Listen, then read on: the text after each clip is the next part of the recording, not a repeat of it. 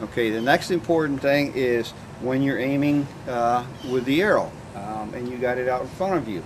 You're going to reach around and with this style of, of teaching, uh, what you're going to do is you're going to learn to shoot with three fingers underneath your nocking point, which is this green piece right here, pushed up against your nocking point here.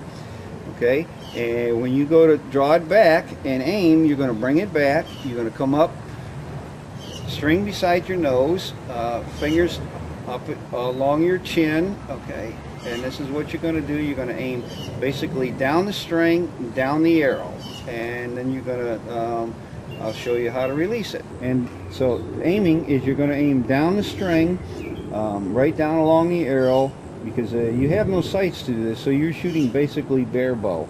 Um, and you're using the arrow point to uh, for arrow impact.